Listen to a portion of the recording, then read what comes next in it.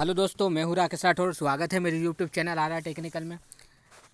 मेहमान प्रवक्ता की जो वैकेंसी चल रही थी मेरिट लिस्ट आ, चुकी है। बाकी पहले यह हो चुका था कि निशक्त जनों को पहले ज्वाइनिंग दी जाएगी। छः परसेंट जो भी सीटें अलाट होगी उसके हिसाब से निशक्त जनों को पहले ज्वाइनिंग करवाने का आदेश आ चुका था। तो उसी के हिसाब से सूचना भी फिर से नई ज्वाइनिंग डेट आ चुकी है कि अब जो टाइम टेबल है पहले जो टाइम टेबल था वो पूरी तरह से चेंज हो चुका है।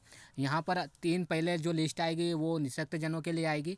जो भी विकलांग कैंडिडेट है उनकी लिस्ट आएगी। अगर वो ज्वाइनिंग लेते हैं उसके बाद में फिर हमारी नॉर्मल सीटें पर मेरिट लिस्ट चालू होगी और उसके बाद ही उनका कार्य ग्रहण कराया जाएगा। तो जैसे कि हम बात करें निशक्त जन की मेरिट सीट के कार्यक्रम अगर हम देखें तो पहली जो सूची आ चुकी है, आज इक्कीस तारीख को आज पहली सूची आ चुकी है, जो कि पच्चीस तारीख तक इनको, इन चार दिन में इनको ज्वाइनिंग करना है।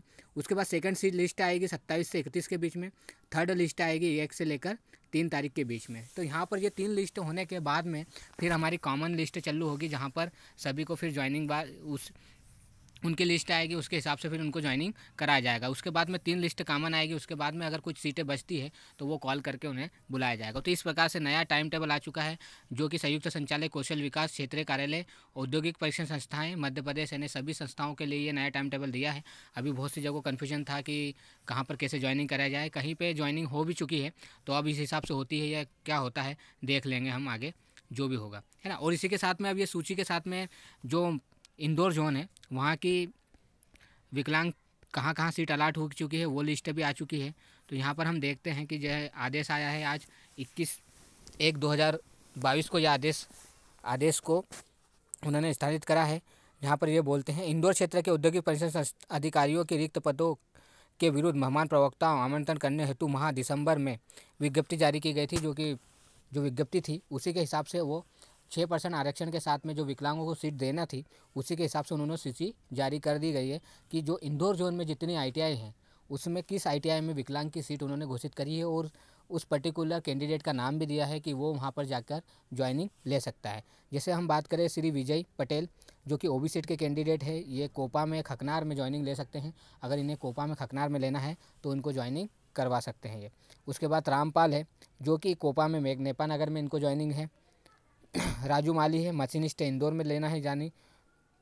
विनोद है, जो कि झाबुआ में लेंगे। संजू खकनार गोकुल, पीथमपुर, बाबूलाल, जोबट, अशोक, अलीराजपुर, खुशी, मानपुर, पुरुषोत्तम, इंदौर, वर्षा, नर्मदा नगर तो यहाँ पर उन्होंने कोपा, फीटर, वशिष्ठ टर्नर मशीन ड्राइंग, इलेक्ट्रिशियन सभी कैंडिडेट, अठारह जो कैंडिडेट थी, सीटें अलाट हो चुकी है। यहाँ पर ये कैंडिडेट ज्वाइनिंग ले सकते हैं। उसी के बाद में हमारी कामन लिस्टें चालू होगी। उसके बाद में फिर कामन लिस्ट से कैंडिडेट को बुलाया जाएगा। तो यहाँ पर इस प्रकार से ये टाइम टेबल अब नया आ चुका है। तो इसी के हिसाब से ज्वाइनिंग होना है। तो आप भी देख लीजिए आपका कहाँ पर नाम आ रहा है। उसके हिसाब से आपको लेना है। पहले तो अभी अब ज्वाइनिंग स्टार्ट होगी। अगर ये अठारह बंदे ज्वाइनिंग कर लेते हैं, उसके बाद सेकंड लिस्ट आएगी। उसके बाद थर्ड लिस्ट आएगी। तो इसी के बाद में फिर हमारा जो कामन लिस्ट चालू होगी, उसके बाद कामन लिस्ट हो जाएगी। उसके बाद में इस प्रकार से ये टाइम टेबल जारी रहेगा। तो मुझे तो लग रहा है कि टाइम टेबल थोड़ा लेट हो चुका है। बाकी अब जो भी जैसी भी लिस्ट है, इसी के अकॉर्डिंग काम चलेगा। या हो सकता है कि सेकंड या थर्ड लिस्ट के बाद ज्वाइनिंग की प्रोसेस थोड़ी चेंज हो जाए। बाकी अभी तो जो लिस्ट आई है, उसी हिसाब से ये ज्वाइनिंग होगी। और अधिक जानकारी के लिए आप मेरे चैनल से जुड़ सकते हैं। प्लीज़ मेरे चैनल को लाइक और सब्सक्राइब कर दीजिए, जिससे कि आपको आगे की लेटेस्ट जानकारी मिलती रहेगी मेरे चैनल के द्वारा। Thank you.